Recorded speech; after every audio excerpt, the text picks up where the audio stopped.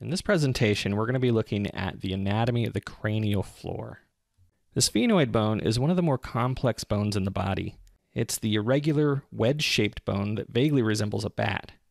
It's located at the base of the cranium, anterior to the temporal bones and the basilar portion of the occipital, and consists of the body, two lesser wings, two greater wings, and two pterygoid processes.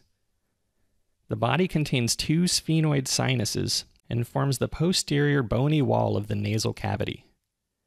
The sella turcica is a saddle like deep depression on the superior surface of the body, which houses the pituitary gland. The sphenoid is located in the MSP of the cranium, three quarters of an inch anterior and superior to the external acoustic meatus.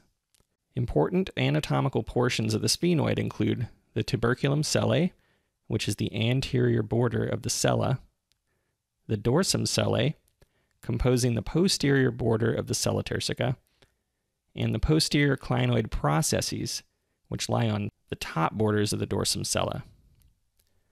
The clivus is a slanted area of bone posterior and inferior to the dorsum sella and is continuous with the basilar area of the occipital bone, which supports the pons of the brain. The optic groove extends across the anterior portion of the tuberculum sellae and ends on each side of the optic canal. The optic canal is an opening to the apex of the orbit for transmission of the optic nerve and ophthalmic artery. The actual opening is termed the optic foramen.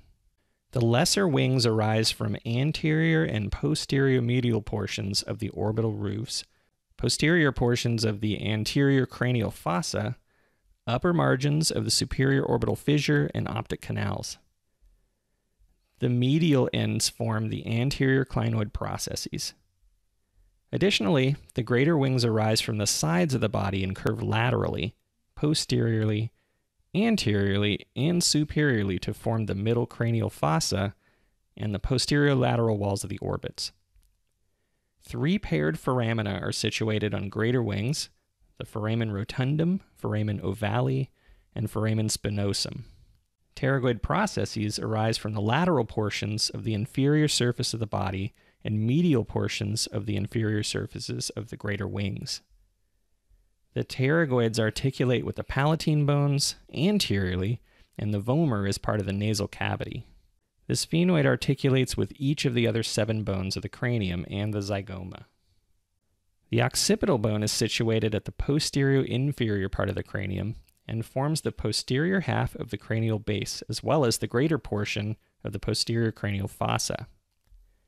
It consists of four parts the squama, two occipital condyles, and a basilar portion.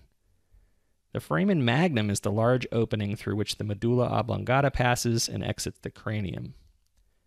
The external occipital protuberance is also called the inion and is a prominent process on the squama that corresponds to the internal occipital protuberance. Occipital condyles project anteriorly from each side of squama and fuse at the basilar portion to complete the foramen magnum. These articulate with the two parietals, the two temporals, the sphenoid, and the atlas, or C1. The temporal bones are situated on each side of the cranial base between the greater wings of the sphenoid and occipital bone and a small portion of the posterior cranial fossa. Temporal bones consist of the squamous portion, tympanic portion, styloid process, zygomatic process, and petromastoid portion, which contains the organs for hearing and equilibrium. The squamous portion is the thin upper portion of the temporal bone that forms part of the side wall of the cranium. The zygomatic process is a prominent arched process that projects anteriorly to articulate with the zygoma to complete the zygomatic arch. The articular tubercle is located on the inferior border of the zygomatic process and forms the anterior boundary of the mandibular fossa, which receives the condyle of the mandible to form the temporomandibular joint, or TMJ. The tympanic portion is located below the squama and in front of the petromastoid portion and forms the anterior wall, inferior wall, and part of the posterior walls of the external auditory meatus, or EAM. The styloid process is a slender, pointed bone projecting inferiorly, anteriorly, and slightly medially from the inferior surface of the tympanic portion. The petromastoid portion combines petrous and mastoid portions and forms the inferior posterior wall of the temporal bone.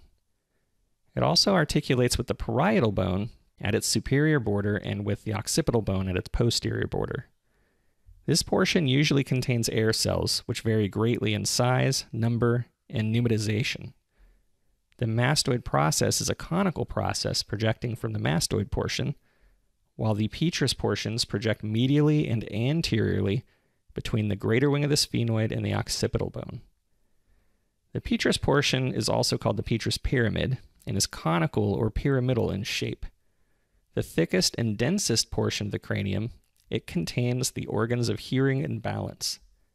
The temporal bone also contains the auditory ossicles, which are the bones of the middle ear and include the malleus, the incus, and the stapes. The temporal bone articulates with the parietal, occipital, sphenoid, zygoma, and mandible.